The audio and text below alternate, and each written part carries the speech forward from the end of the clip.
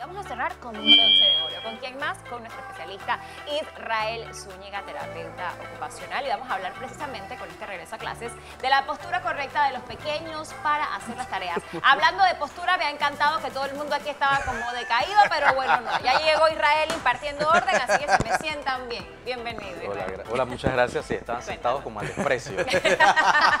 Esto, sí, mira, definitivamente ese, este es un tema bastante interesante para los padres porque, y principalmente para los padres que pues, primerizos o, aquellos que sus niños entran a la escuela por primera vez, o la redundancia, porque tenemos niños que vienen de ser dinámicos a pasar entonces a un estado en el cual tienen que estar sedentarios y no cualquier sedentario, porque una persona puede estar sedentaria y a la vez puede ser eh, dinámica, entonces es un sedentario estático, en donde le pedimos a aquel niño el cual corre, brinca, salta, juega, que tiene ahora que permanecer durante varias horas sentado. Entonces es muy importante que el padre, el, el padre, el cuidador, el, maestro, el maestro en el aula de clase también eh, haga esa, eh, ese tiempo de estar sentado, esa combinación de tiempo de estar sentado y permitir al niño poder hacer cambios de posición si no quiere que se pare de pie. Exacto. O incluso lo mejor sería que cada 30, en, niños de menos de tercer grado, pequeño, que cada 30 o 45 minutos se estén incluso levantando de la silla para que ellos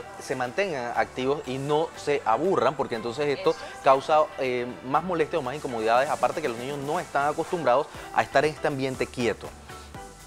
Exactamente. ¿Qué pasó? Estamos pensando, nos, trasladamos a la escuela cuando estábamos Exacto, no, la verdad es que sí, estaba pensando yo en eso y precisamente lo estoy viviendo con mi sobrino. Él tiene tres años, es demasiado activo, es una cosa loca y ahora que está en la escuelita, a veces una de las principales cosas que dice es que no quiere estar ahí quieto todo el tiempo. Pero te quiero preguntar algo en los niños es igual que los adultos ese tiempo de que, ok, cada cierto tiempo tienes que levantarte y estirar las manos y... lo, ideal como... No, no, lo que sí es lo mismo es que ambos deben hacerlo. Pero lo ideal sería que niños pequeños, como acabo de mencionar hace un momento, menos eh, el niño de prekinder, kinder, hasta tercer grado, por lo general cada 30 a 45 minutos se le levante, se le se cambien de asiento o que la maestra tenga algún tipo de dinámica en el cual el niño haga algo más que estar sentado.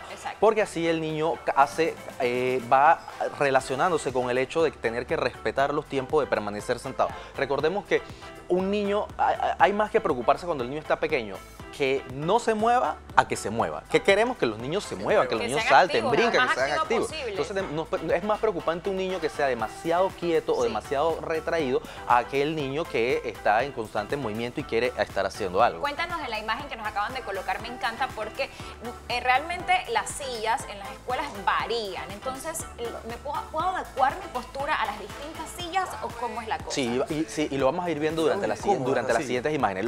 otra cosa sumamente importante también es que no podemos exigirle a un niño o a cualquier persona que se siente eh, recto o que se siente en la postura correcta durante ocho horas o cuatro o cinco horas. Porque no hay postura correcta. Mira, lo, que el, cuerpo humano está hecho para estar en movimiento, si no seríamos completamente rígidos. No, el cuerpo humano tiene una serie de articulaciones, la cual tienen que ser empleadas y uno tiene que estar en movimiento.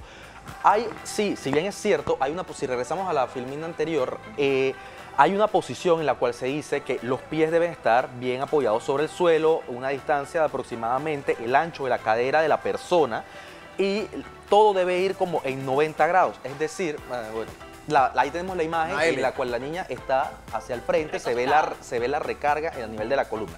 En la otra imagen vemos que la niña tiene los pies bien apoyados en el piso, las piernas en 90 grados, igual los muslos están a 90 grados y vemos que su espalda está recta o en posición de 90 grados. Tenemos que tener en cuenta siempre la altura de la mesa, el teclado. Ustedes dirán, pero si ella tiene una laptop, los televidentes pueden ver en casa que si ella tiene una laptop, ¿por qué no utiliza el teclado de la laptop? Hay que tener en cuenta que si uno tiene la facilidad de poder adaptar un teclado que es mucho más, un teclado de computadora normal, que es mucho más grande que el reducido teclado de, la computadora, entonces hacerlo.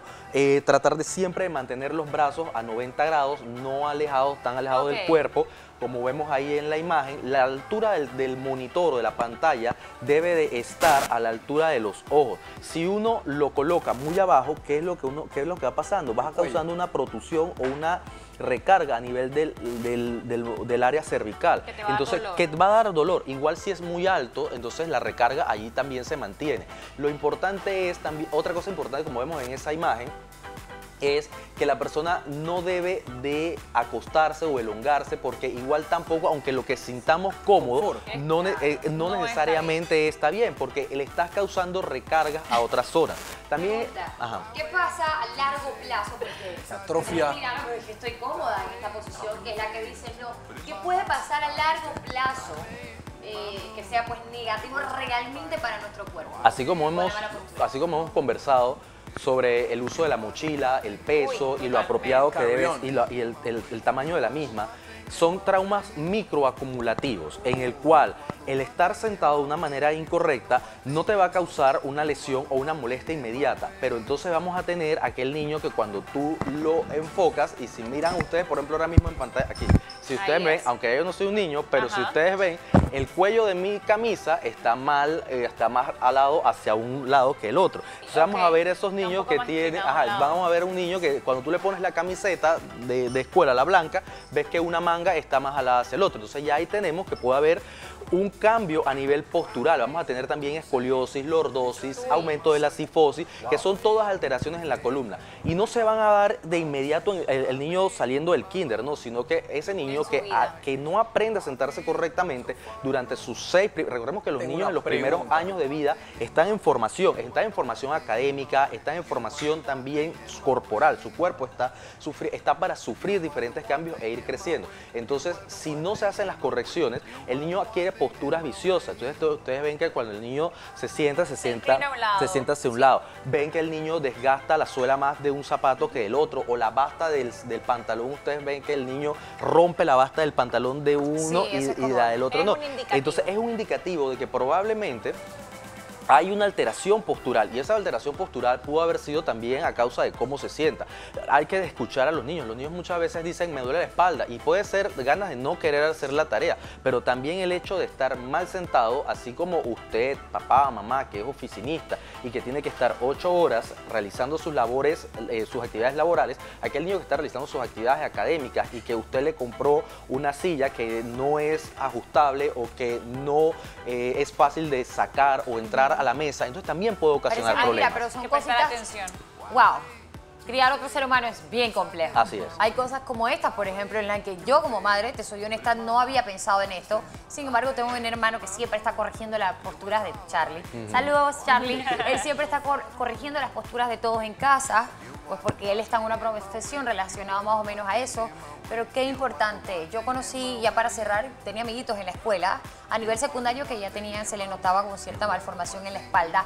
Oye, y los chiquillos son crueles en la, escuela, así que cuide a sus hijos, ya lo sabe. Postura al momento de hacer tareas. Aprenden con el ejemplo. con el ejemplo. Si papá está tirado así, pues yo también voy a estar como papá. Así que usted háblele y explíquele. Gracias, Israel. Maravilloso, como siempre, tus intervenciones con consejos que realmente son aplicables en nuestra vida y sobre todo para mantener lo más saludables posibles. Terminamos, señores. Gracias, Israel, por acompañarnos. Te quedas porque vamos a comer delicious.